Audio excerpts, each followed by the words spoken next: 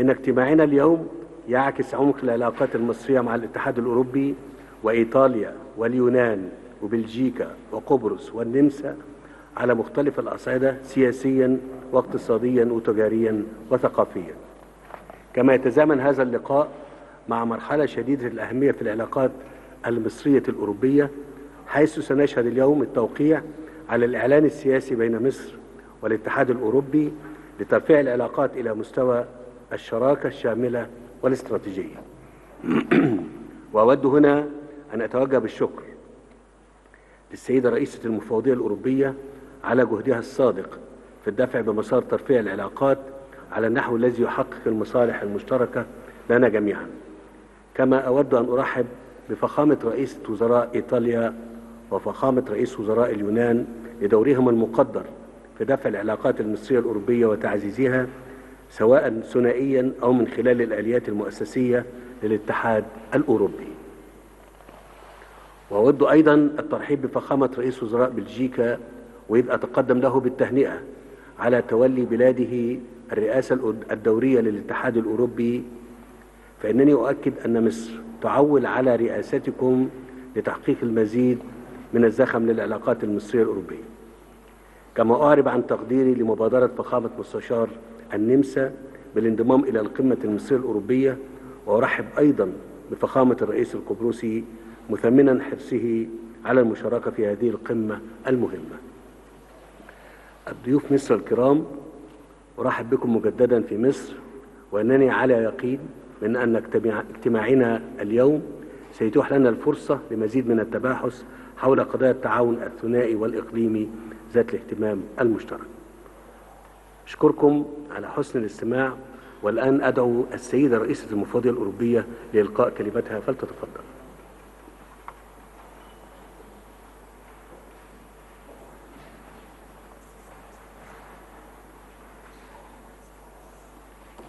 رمضان كريم Mr. President. فخامة الرئيس وأنا سعيدة عن حق لوجودي هنا اليوم مع دولة مملكة بلجيكا ورئيس الحال للاتحاد الأوروبي وكذلك فخامة رئيس جمهورية قبرص ورئيس وزراء اليونان. وهذه لحظة تاريخية عن حق. اليوم نرفع العلاقة فيما بين الاتحاد الأوروبي ومصر إلى مستوى استراتيجي وشامل يشمل شراكة استراتيجية وشاملة ونوافق على مجموعة من من الحزم تشمل التجارة والاستثمار إلى طاقة منخفضة الكربون وإدارة الهجرة وأهم من ذلك في الاستثمار في الناس وفي التعليم والثقافة والشباب. وهذا يصاحبه حزمة من الدعم المالي يبلغ 7.4 مليار يورو في السنوات المقبلة ولسوف نعمل لتعزيز الديمقراطية وحقوق الإنسان والفرص المتكافئة. كذلك نلتقي في وقت in يمتلئ بالأزمات. نحن قلقون إزاء الحرب في غزة وكذلك الوضع الإنساني الكارثي. فإن غزة تواجه المجاعة. ومن الأهمية بمكان أن نصل إلى اتفاق لوقف إطلاق النار الآن من شأنه أن يوقف الاعتداءات ويؤدي إلى إطلاق سراح الرهائن والسماح بالمساعدات الإنسانية للدخول إلى غزة. ونحن نخشى من الدخول في عام حملة عسكرية في رفح تؤدي إلى إضعاف السكان أكثر فأكثر. أود أن أعتقد وأوجه الشكر إلى مصر على دعمها الكبير للتأكد من وصول الإمدادات الإنسانية إلى غزة. إن الاتحاد الأوروبي يولي أولوية قصوى للمساعدات الإنسانية وتوصيلها إلى غزة عن طريق البحر والبر والجو. ونعمل جنب إلى جنب مع مصر بغية الوصول إلى سلام دائم على أساس حل الدولتين. وإني أتطلع عن حق لمحادثاتنا اليوم لتعميق تعاوننا أكثر فأكثر. واتفقنا على أن أهم شيء بالنسبة للشراكة الاستراتيجية والشاملة هو أن نصل إلى أن الاتفاقية تتحول إلى استثمار فعلي على أرض الواقع يفيد الشعب ويوجد فرص العمل ويشرك قطاع الأعمال على الناحيتين في الضفتين. شكرا جزيلا. أشكر السيدة رئيسة المفوضية الأوروبية على كلمتها وأدعو دولة رئيس وزراء مملكة بلجيكا الرئيس الحالي للاتحاد الأوروبي لإلقاء كلمته فليتفضل. شكرا فخامة الرئيس ومن جانبي. شكرا لاستضافتنا هنا جميعا هنا. الشراكة الاستراتيجية التي نناقشها هنا اليوم في الواقع سوف تأتي بثمار وأننا نتطلع إلى مثل هذه الشراكة الشراكة التي تؤتي بثمارها في الاستثمار والتي تخلق مزيدا من فرص العمل وتعزيز قدرتنا وطاقتنا وكذلك كذلك تفي بتطلعات الشعوب التي نمثلها هنا. نحن بحاجة إلى مثل هذه الشراكة. العالم الذي نعيش فيه هو أكثر اضطرابا عن ضيق قبل لدينا. هنا آه، صراعات مروعة في الشرق الأوسط ونرى أثارها هنا يوما بعد يوم في البحر الأحمر. وعدم الاستقرار يؤدي إلى أن مثل هذه الشراكة. نحن بحاجة إليها أكثر من ذي قبل وهناك العديد من الأشياء التي يمكن أن نتشارك فيها الشركاء على المستوى السياسي وشركاء على المستوى الاقتصادي. وكذلك شركاء للحد من الهجرة غير الشرعية. الهجرة الهجرة موجودة بالفعل وطالما ما كانت متواجدة وكذلك فالهجرة غير الشرعية والإتجار في البشر واستغلال البشر هو أمر لابد من الحد منه والقضاء عليه. وكذلك نعمل على الأسباب الجذرية الأسباب الجذرية التي تعني أن نخلق منظورا ومدركات وفرص عمل وكذلك نمو اقتصادي واتفاق مثل هذا الاتفاق ومنظور يهدف إلى خلق المنظور هو أحد السبل للحد من الهجرة غير الشرعية وأنني على قناعة بأن هذا يمكن أن يخلق ديمقراطية حيوية ومجتمعات حيوية بها أصوات ومزيد من المساحات. هو كذلك عنصرا إضافيا للأجيال القادمة. والاتفاق على ومثل هذه الاتفاق لابد أن تفي بما تطلع إليه الأجيال الشابة وهو في هم يستحقوا أن يجعلوا بلدانهم أكثر قوة. شكرا سيدي الرئيس. أشكر دولة رئيس أشكر دولة رئيس وزراء مملكة بلجيكا الرئيس الحالي للاتحاد الأوروبي على كلمته وأدعو فخامة رئيس الجمهورية القبرصية لإلقاء كلمته فليتفضل.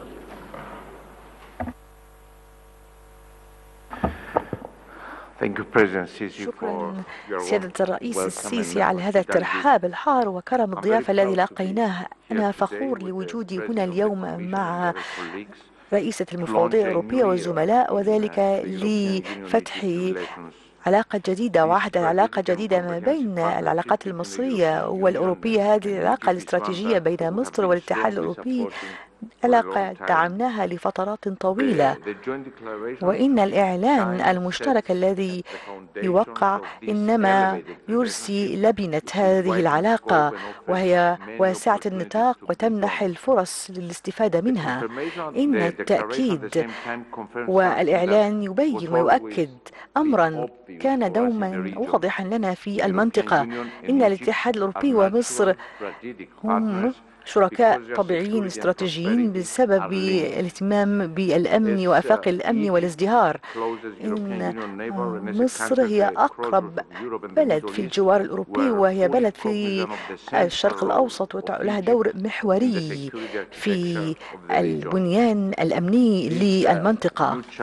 هذا الفصل الجديد في العلاقة ما بين مصر والاتحاد الأوروبي يبين أن مصر إنما هي ركيزة للاستقرار في خضم التهديدات والصراعات وعنصر مثبت للاستقرار ينبغي الاستثمار فيه وفي ذات الوقت إن مصر تصبر أغوار الكثير من التحديات في ظروف اقتصادية صعبة بما في ذلك الصراعات في غزة والسودان وليبيا وعدم الاستقرار في البحر الأحمر والتهديدات للأمن الغذائي والمائي والإرهاب وكذلك أزمة اللاجئين وطبعا الهجرة غير الشرعية. وعلى صعيد غزة نحن نتوجه بالشكر لقيادة مصر لتأمين مسألة وقف إطلاق النار وإطلاق سراح الرهائن وكذلك للقيام بعملية مساعدات إنسانية واسعة النطاق لإنقاذ المدنيين في غزة ووقف الصراع حتى لا يتشعب أكثر من ذلك وأن تقود الطريق لكي تؤدي إلى إنشاء البلدين أو الدولتين أو حل الدولتين. طبعا أنا ضد نزوح المدنيين ونحن عن حق نعرف عن حق قلق مصر الأمني. ونسعى إلى تحقيق السلام بين مصر وإسرائيل. ونؤكد أن حل الدولتين هو السبيل الوحيد لضمان أن الكل يعيش في سلام. وفي أمن. وبالنظر إلى الوضع الصعب لغزة فإن قبرص مع مجموعة من الدول الشركاء والاتحاد الأوروبي تحت قيادة أرسلا رئيسة المفوضية الأوروبية قمنا بإنشاء محور إقليمي لتقديم مساعدات منقذة للحياة لغزة ونحن سعداء أن هذه المساعدات الضرورية بدأت في وصولها إلى غزة في المدنيين ونعلم تمام العلم أن التحديات كبيرة وأن المساعدات غير كافية وأن مسارات البرية لإيصال المساعدات هي المسار الأساسي لإيصال المساعدات الإنسانية ولا يمكن التغاضي عنها ولا يمكن استبدالها بأخرى. وكذلك آمل أن نرى تعاونا وثيقا ما بين الاتحاد الأوروبي ومصر فيما يتعلق بعملية السلام الشرق الأوسط وكذلك في عقد الانتخابات في ليبيا بسرعة. وكذلك نحاول التعامل مع القوى العسكرية هناك وكذلك وقف إطلاق النار في السودان وتحقيق الأمن في البحر الأحمر وما يتجاوزه وطبعا في إقليم شرق المتوسط اليوم. إنما هو بداية علاقة قوية وتعود بالفائدة على الجانبين ما بين مصر والاتحاد الأوروبي. شكرا سيدي الرئيس. أشكر فخامة رئيس الجمهورية القبرصية وأدعو دولة رئيس وزراء اليونان لإلقاء كلمته فليتفضل.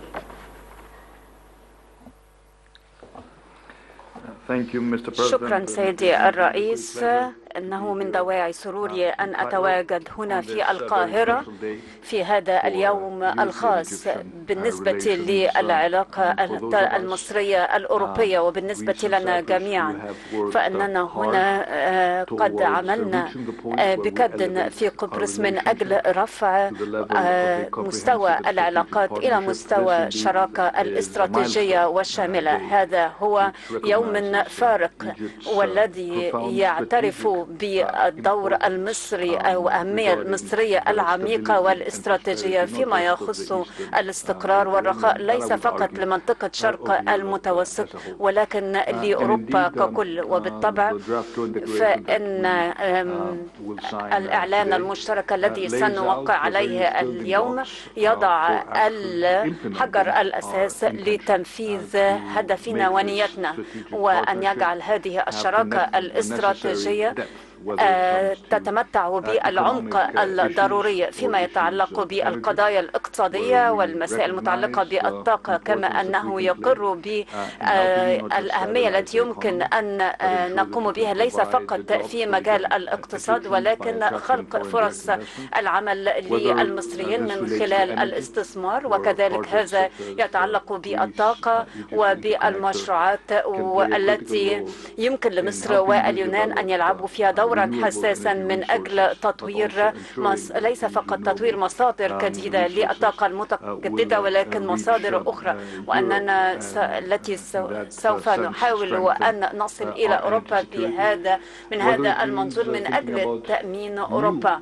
ما هذا يعني أن هناك المزيد من المشروعات الجديدة والأكثر طموحا والتي في المستقبل تعمل على التحولات كما تحدث سيادتك عنها في مجال الغاز وفيما يتعلق بالتعاون وخاصة في مجال الهجرة. أولا نريد أن أن نقر بالجهد الضخم الذي تبذله مصر في استضافة اللاجئين والمهاجرين من العديد من البلدان التي واجهت صعوبات اقتصادية وسياسية خطيرة والرئيس السيسي دعني أقول إذا كانت مصر تتمتع بالرخاء فإنها سوف تساعد دول أخرى تعاني من عدم الاستقرار مثل السودان وليبيا والتي أجبر شعبها ليس فقط على الفرار من الصراعات الداخلية بل كذلك من الأزمات الاقتصادية.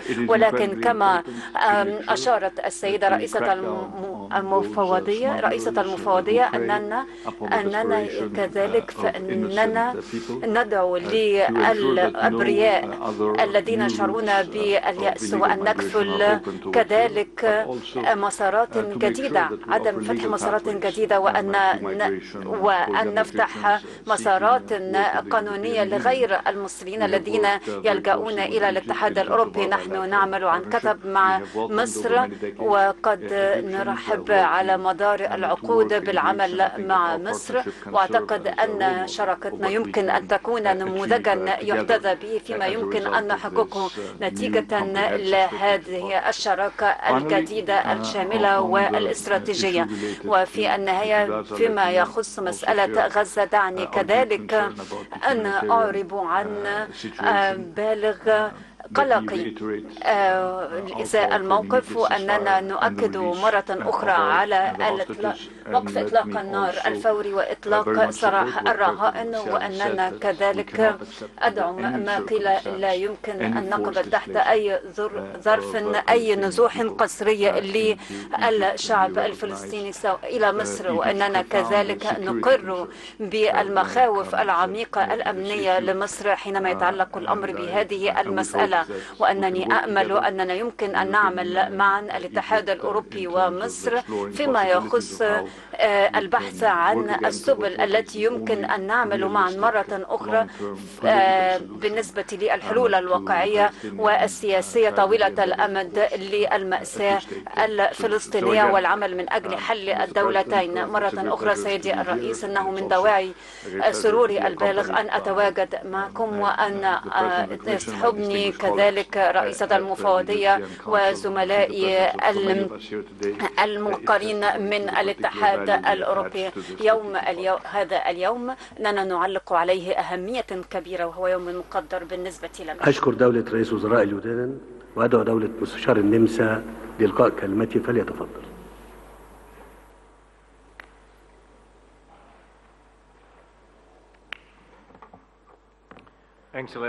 شكرا. فخامة الرئيس. مرة شكرا مرة أخرى على هذه الضيافة الرائعة وعلى استقبالنا جميعا أصدقاء مصر هنا في القاهرة اليوم. إن مصر كانت دوما شريكا هاما وبلغ الأهمية لأوروبا في عدة مجالات وأنا سعيد أننا استطعنا ترفيع العلاقات إلى مستوى أعلى. عندما زرتكم في القاهرة في إبريل الماضي شعرت بأهمية إبرام اتفاقية للتعاون المشترك ما بين مصر ما بين مصر والاتحاد الأوروبي. كان هذا من أهم أولويات الأجندة السياسية للنمسا في العام 2018 ربما تتذكر هذه المحادثات. وأستطيع القول أننا وصلنا إلى هذه الاتفاقية لهذه الشراكة الاستراتيجية الشاملة ما بين مصر والاتحاد الأوروبي. وأستطعنا أن نوجد حالة يفوز فيها كلا الطرفين. أولا أود أن أتوجه لك بالشكر سيدي الرئيس وكذلك سيدتي الرئيسة المفوضية الأوروبية على هذه القيادة الرائعة. وأود كذلك أن أجدد امتناني لك فخامة الرئيس السيسي لاستضافة هذا الكم الهائل من اللاجئين في مصر والتأكد من عدم وجود أي مراكب للتهريب تهريب الأشخاص من مصر إلى البلدان الأخرى. وعندما نظر في هذه النظر في هذه الاتفاقية لا ينبغي فقط أن نركز فقط على موضوع الهجرة والتنقل بالنسبة للعمالة المهرة الماهرة ولكن ينبغي أن نساعد في خلق الفرص لتعزيز التعاون فيما يتعلق بالاستثمار والهيدروجين الأخضر هيدروجين الأخضر والتكنولوجيا. والآن أتحدث عن الحرب ما بين إسرائيل وغزة. أود أن أجدد امتناني لفخامة الرئيس السيسي على مساعدتك وعلى كل المجهودات المبذولة صوب الوضع في غزة بما في ذلك. إجلاء الأجانب من غزة إلى مصر. إن مصر شريك حيوي لتقديم المساعدات الإنسانية الضرورية للبقاء على قيد الحياة في غزة.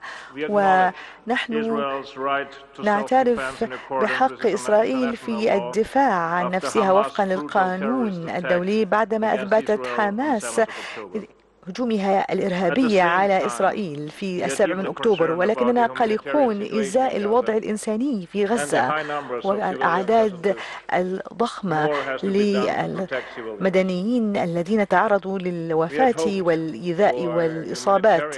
كنا نتمنى أن نحقق هدنة إنسانية وإطلاق لسراح الرهائن قبل رمضان. إن إطلاق صلاح سراح الرهائن إنما يبقى أولويتنا الأولى. شكرا جزيلا على هذه الدعوة الكريمة.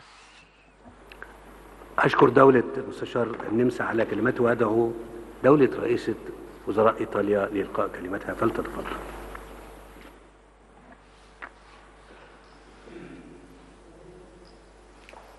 الرئيس السيسي زملائي الأعزاء.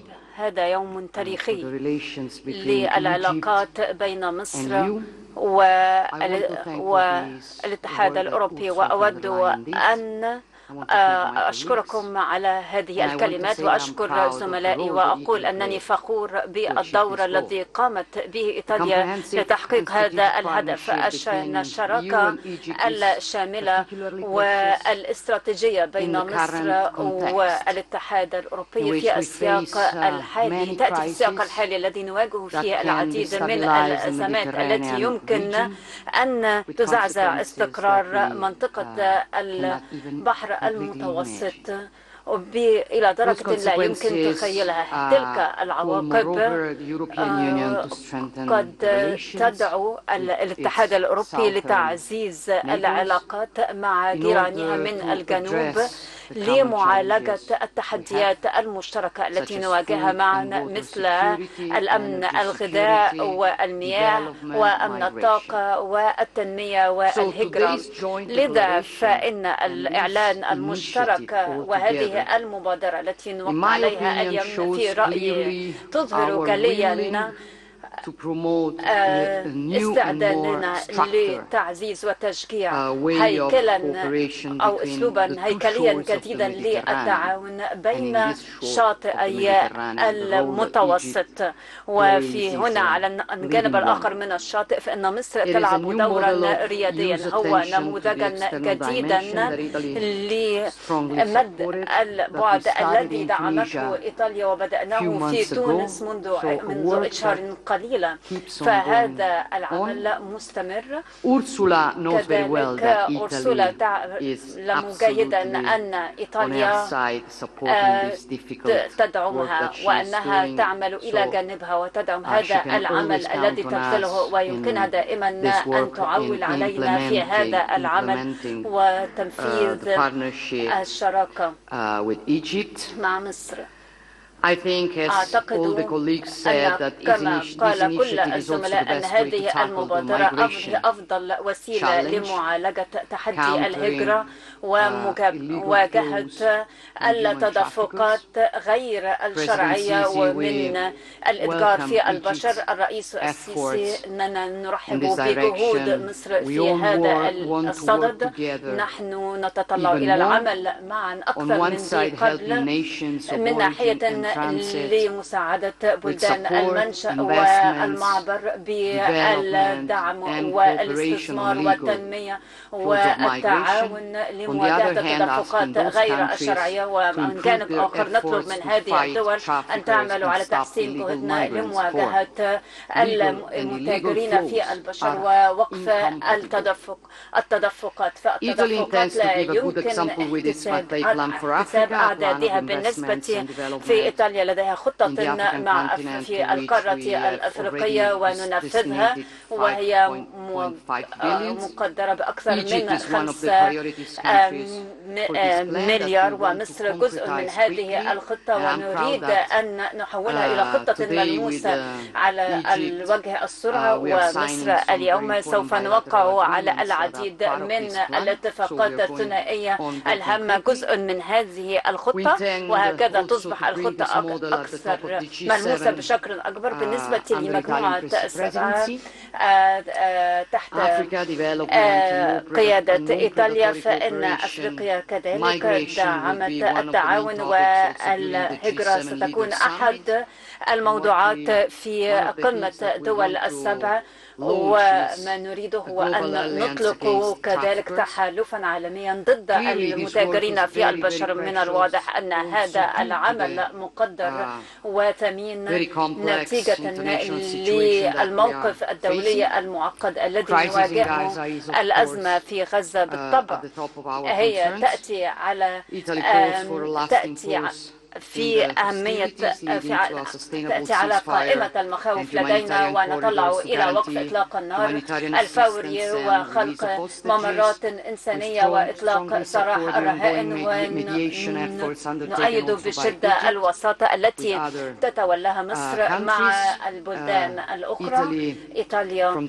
منذ بداية الصراع قد لعبت دورا فعالا في توفير المساعدات الإنسانية لشعب غزة والآن نركز على الأمن الغذاء ولكن من الحتمية هو استئناف حوار سياسي يهدف في النهاية إلى حل الدولتين. الزملاء الأعزاء والعزيز الرئيس السيسي فإنني أهنئكم على هذه القرارات الشجاعة وأن أشكركم على العمل المهم والعمل الذي سنواصله معا. أشكر السادة القادة الأوروبيين على كلماتهم التي تعكس عمق العلاقات المصرية الأوروبية وإدراك واضح لدور مصر كشريك أساسي وموثوق فيه في مختلف مناحي التعاون.